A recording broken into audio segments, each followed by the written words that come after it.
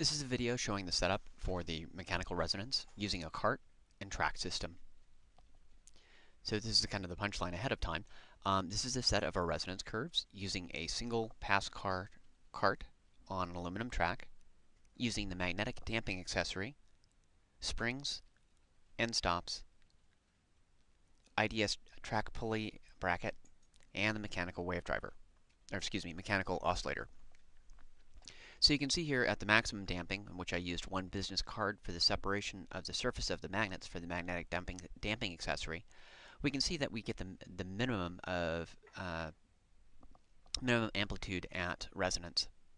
Um, but as we start to decrease the magnetic damping on the system, we start to see increases on the maximum amplitude that is collected. So we have a, a graph here of the driving frequency. This is determined by a photo gate that is being uh, broken by the arm on the mechanical oscillator.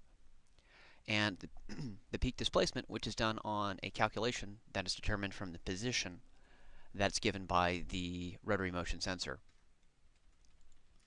So for this setup, I've used a 550 interface using a PASPORT rotary motion sensor and a photo gate.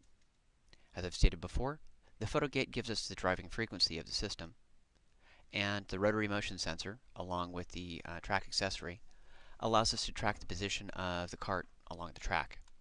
Also, the 550 is being used as a signal generator, so that allows us to scan the driving voltages and change the driving frequency of the system.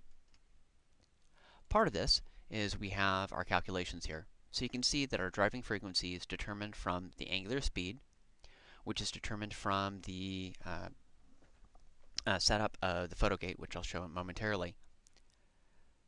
The DC voltage from the 550 is determined by this calculation. So we're using time as an, uh, to increment the, the voltage over time. You can also change the slew rate by changing this multiplier. So if you want the slew rate to be slower, you'll go ahead and have a, a much lower value for this. I've set a baseline voltage of about 2 volts. Um, if we try to drive the mechanic, uh, rather the uh, mechanical oscillator at a lower voltage, um, the curves are, are not as uh, symmetric. But again, um, I will I will show a run with a, a lower uh, initial driving voltage. And then the peak displacement is given by a calculation that is done on the position that is given to us by the rotary motion sensor.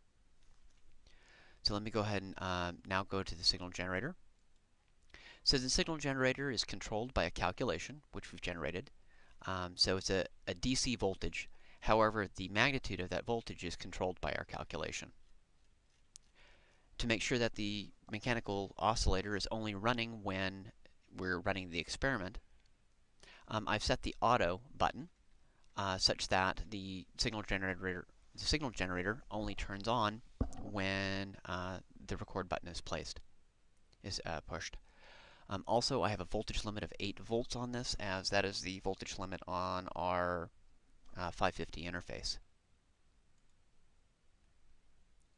So let me go ahead and turn off some of these curves here so we can show you the effect of what happens when we turn down the slew rate. So in order to show multiple runs at one time, you can press the rainbow uh, triangle up here. So when it's turned off, uh, you can see that it's only one run that's being displayed. But if we select it again, then we can select multiple runs at one time. In this case, I want to compare the 6-card damping along with the 6 cards with the slower slew rate. So you can see with the slower slew rate, we have a tighter uh, placement of the samples.